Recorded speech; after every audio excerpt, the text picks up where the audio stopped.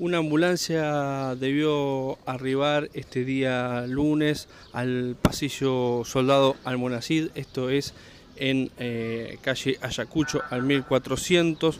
Si bien todavía no hay una versión oficial de lo ocurrido, lo que se pudo saber por el momento es que eh, se produce un enfrentamiento entre dos personas. Cuando llega la policía al lugar, un efectivo es apuntado por una de estas dos personas que estaba enfrentándose y como consecuencia de situación para resguardar su vida, eh, el efectivo policial eh, abrió fuego hiriendo a la persona en un disparo de arma de fuego en el abdomen.